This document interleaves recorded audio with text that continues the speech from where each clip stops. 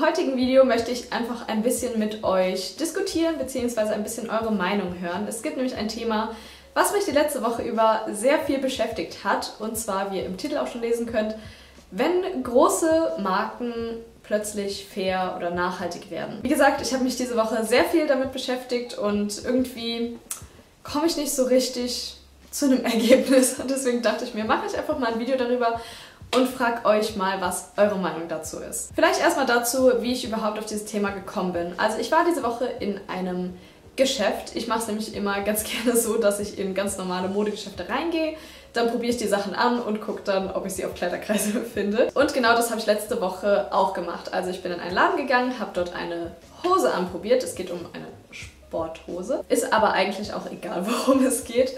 Und ich war mir ziemlich sicher, dass diese Marke, bei der ich die Hose anprobiert habe, nicht fair ist und deswegen kam es für mich eigentlich auch gar nicht in Frage, die dort zu kaufen.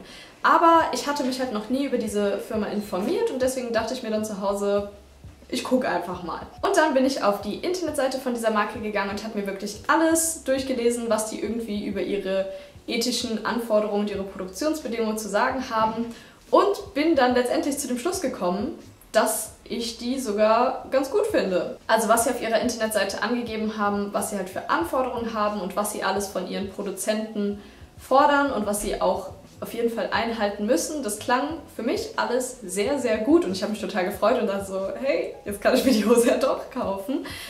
Und ähm, habe ich aber dann nicht gemacht, sondern ich dachte mir, ich warte mal noch. Und ich habe sowieso auch erstmal noch auf Kleiderkreise geguckt, ob ich sie nicht doch finde. Habe ich aber leider nicht. Auf jeden Fall habe ich dann mit meinem Freund auch darüber geredet und er fand das auch ganz interessant und hat sich dann auch über die Marke informiert. Und im Gegensatz zu mir hat er nicht nur auf der Internetseite von dieser Marke geguckt, sondern hat halt auch Berichte angeguckt von Außenstehenden, also was halt andere über diese Marke zu sagen haben. Und dabei hat er dann rausgefunden, dass sie noch nicht immer fair waren. Anscheinend war diese Marke bis vor ein paar Jahren noch genauso wie alle anderen, hat unter super schlechten Bedingungen äh, die Sachen herstellen lassen, hat keine fairen Löhne bezahlt, hat überhaupt nicht auf die Umwelt geachtet. Also Umwelt ist, glaube ich, heute bei denen immer noch so. Hm. Aber das hat mich dann vor die grundlegende Frage gestellt, sollte man eine Marke unterstützen, die jetzt fair ist, aber es mal nicht war. Also ich bin eigentlich der Meinung, wenn eine Veränderung wirklich stattfindet und wenn sie es jetzt wirklich besser machen als vorher, dann sollte man das auch unterstützen.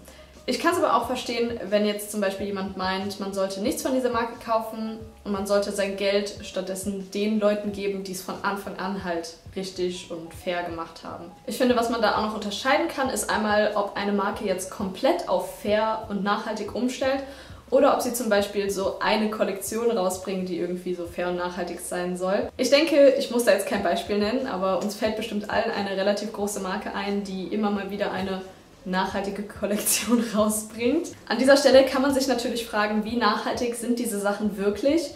Nachhaltig bedeutet natürlich auch noch nicht fair. Also nur weil etwas jetzt aus Biobaumwolle oder aus recycelten Materialien ist, heißt es das nicht, dass die Näherinnen daran auch nur einen Cent mehr verdient haben. Und genauso, was denke ich mal auch für viele relevant ist, wie ernst meint diese Firma es jetzt mit dieser Fairness und der Nachhaltigkeit, wenn es irgendwie nur eine Kollektion ist und der Rest ist trotzdem noch total beschissen? Also wenn man schon die Sachen irgendwie fair herstellen kann, warum macht man es dann nicht mit allen Produkten so? Andererseits ist es natürlich so, dass Nachfrage das Angebot bestimmt und wenn jetzt Marke XY eine faire Kollektion rausbringt und die Leute kaufen es dann, dann wird sich diese Kollektion erweitern und es wird mehr faire Produkte geben. Das gleiche gibt es ja auch so bei veganen und vegetarischen Produkten. Es gibt ja inzwischen schon einige eigentlich Fleisch- oder Milchfirmen, die vegane und vegetarische Sachen irgendwie auf den Markt gebracht haben.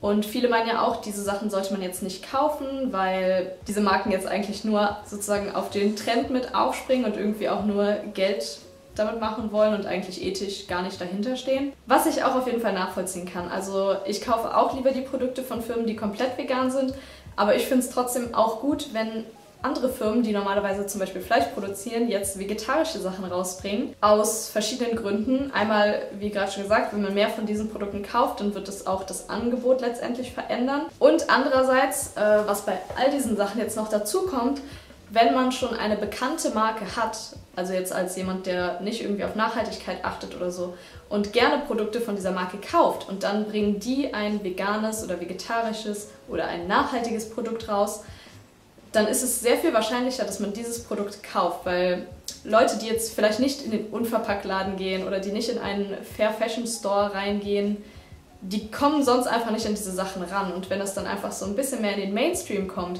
wie jetzt auch, äh, wenn DM zum Beispiel solche nachhaltigen Produkte hat, auch wenn es jetzt vielleicht nicht die perfekten Produkte sind, dadurch, dass sie dann einfach im Drogeriemarkt direkt zu finden sind, kommen einfach viel mehr Leute ran. Und ich finde, das ist auf jeden Fall eine sehr gute Sache, aber Natürlich kann es dadurch auch irgendwie zu Greenwashing kommen, dadurch, dass das Ganze halt so in den Mainstream kommt. Ich finde es sehr schwierig. Was ich mich auch bei so Firmen frage, die so nach und nach auf vegan oder auf nachhaltig umstellen, ist, stehen die wirklich dahinter? Also, wenn es jetzt nur ein Trend ist und in ein paar Jahren interessiert es vielleicht nicht mehr so viele Leute, was ich nicht hoffe, ähm, was machen diese Firmen dann? Also wenn sie nicht wirklich dahinter stehen, dann werden sie ja wahrscheinlich einfach aufhören, diese Produkte zu produzieren und einfach wieder zu dem zurückkehren, was sie vorher gemacht haben. Also ich denke, diese Gefahr ist eher bei so veganen und vegetarischen Produkten. Ich glaube, niemand wird jetzt seine faire Klamottenproduktion auf einmal wieder auf unfair umstellen. Das wäre irgendwie ziemlich dumm. Ich fände es natürlich genauso dumm, wenn jemand jetzt auch wieder anfängt, Fleisch zu produzieren, aber ja, also das waren jetzt so grob meine Gedanken zu dem Thema. Vielleicht kann ich es gerade nochmal kurz zusammenfassen, äh, auf welche Frage ich jetzt eigentlich hinaus wollte. Findet ihr, dass man eine Marke unterstützen sollte, wenn sie früher nicht fair war, aber jetzt komplett auf fair umgestellt hat? Und genauso, was ist, wenn eine Marke, die normalerweise nicht fair oder nicht nachhaltig ist, jetzt ein nachhaltiges Produkt rausbringt? Sollte man das dann unterstützen? Oder seid ihr der Meinung, dass man diese Marken komplett äh, boykottieren sollte und wirklich nur bei Firmen kaufen sollte, die von Anfang an fair waren und die wirklich so zu 100% schon immer dahinter standen. Würde mich mal sehr interessieren, was ihr über dieses Thema denkt. Ich habe wirklich diese Woche sehr viel darüber nachgedacht und bin nicht so wirklich zu einem Schluss gekommen. Also ich finde eigentlich, dass man Veränderungen immer irgendwie unterstützen sollte, wenn es in eine positive Richtung ist und wenn es auch wirklich ernst gemeint ist und wenn es jetzt nicht nur so dahergesagt ist, so, ja, wir machen jetzt nachhaltig, aber es ist halt nicht wirklich nachhaltig. Also wenn es jetzt um Kleidung geht und es nur eine einzelne Kollektion ist, finde ich trotzdem, dass man es unterstützen sollte, weil es halt Veränderungen irgendwie in Gang setzen kann. Und wenn eine Firma jetzt komplett auf fair und auf nachhaltig umstellt und das auch wirklich umsetzt, dann finde ich auch, dass man es unterstützen sollte. Ich meine, das ist, ist ja immerhin eine sehr positive Veränderung, die sie da gemacht haben. Ich weiß nicht, ich finde es so schwierig. Ich bin auf jeden Fall sehr gespannt, was ihr dazu sagen werdet. Ich kann mich noch nicht so wirklich entscheiden, aber vielleicht wird mir die Diskussion mit euch ja ein bisschen helfen. Und dann hoffe ich, dass euch das Video gefallen hat. Schreibt gerne in die Kommentare, was ihr zu dem Thema denkt und dann sehen wir uns beim nächsten Mal. Tschüss!